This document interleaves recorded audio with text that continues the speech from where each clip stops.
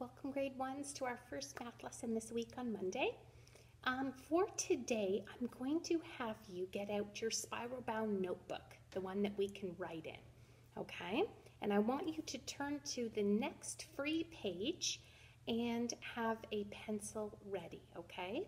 While you do that, if you want to hit pause, just to pause it while you get yourself ready.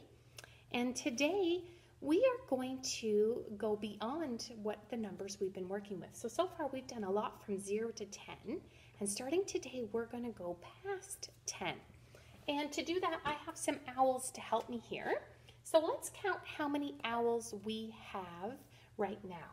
So we have one, say it out loud with me, two, three, four, five, and six. Now I'm going to add an owl and I want you to say how many I have now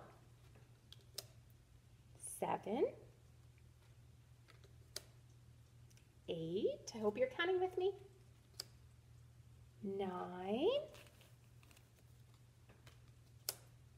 ten. So we now have 10 owls.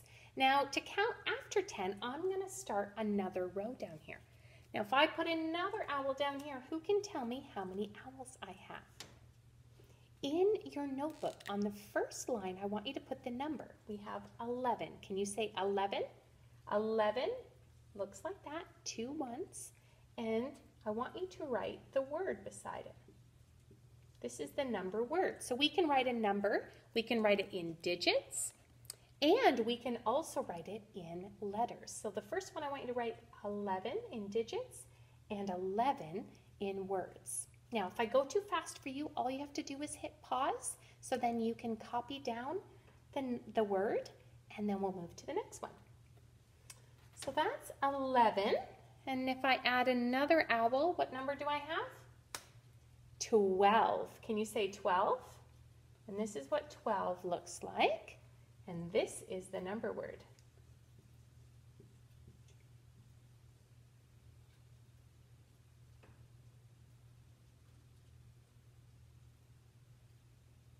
Okay, again, just hit pause if you need a little bit more time. And then if I add another owl, how many do I have now? 13. And this is what 13 looks like, is uh, digits and the number word. And that's what 13 looks like.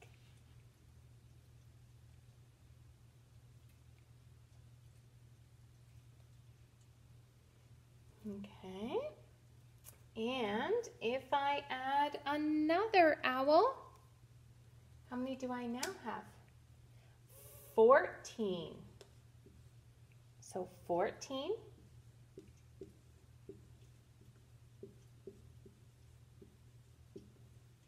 And now we're getting into where you'll notice that we have the number 4, and now we're adding the word teen.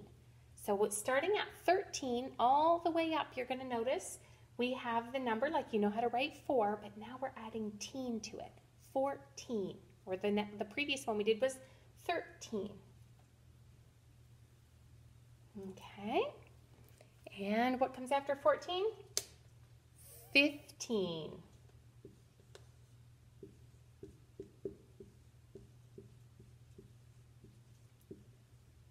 So now we have 15.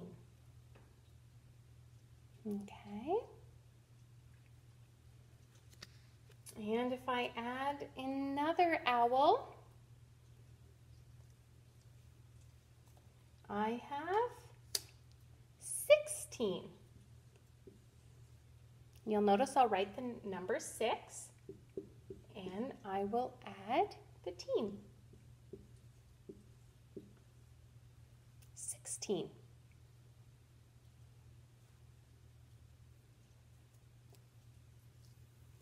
And if I have another one, how many would I have? 17. Can you say 17? And I write the number 7 and I add teen. 17. Okay, copy that down Press pause if you need to. And we're going to add another owl. And now how many do we have? 18. Yes. So we have 18. And again, we write the number 8 and teen. 18. And if we get another owl, our last teen we have 19. We write the number 9 and add teen to it.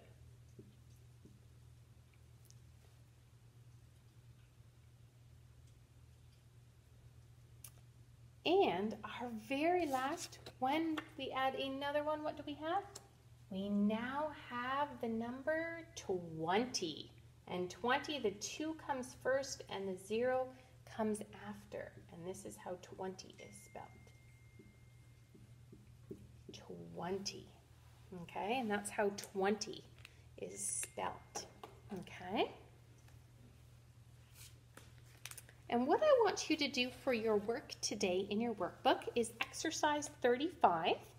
And what you're going to do is you're going to count the number of items and I want you to line it up with the number to practice what are 11, 12, 13, 14, 15, 16, 17, 18, 19, 20 numbers look like. So you're going to match them up and then you're going to turn the page over and you're going to count and write the number in each of the boxes. So count the items and then write the number in the box. And the last final page is what you're going to do is to help us count so you don't have to always start at zero is start with 10. So I want you to count 10 and make a circle around the 10. So then if I have 10, then I can count 11, 12, 13, 14, 15, 16 and write it in the box. So for each of these on for question three, I want you to circle 10 first and then start counting after 10. And that's an easier way when you're counting lots of objects. Okay, so that's what you're going to do today in your workbook. And that's sort of like our owls up here. I know my first row is 10. So if I take some off of my first row, how many owls would I have? Well, this is a group of 10. So let's start counting after 10. 11, 12, 13, 14, 15. So I have 15 owls. Okay, what about now? I know this is a group of 10, so let's start counting after 10. 11, 12, 13, 14, 15, 16, 17, 18. Okay, now let's see how many owls do I have up on my board now. Uh, this is all 10, so let's start counting the next row. 11, 12. Okay, and that's what I wanted to do in your workbook. Circle 10 and then start counting after 10. Okay, have fun.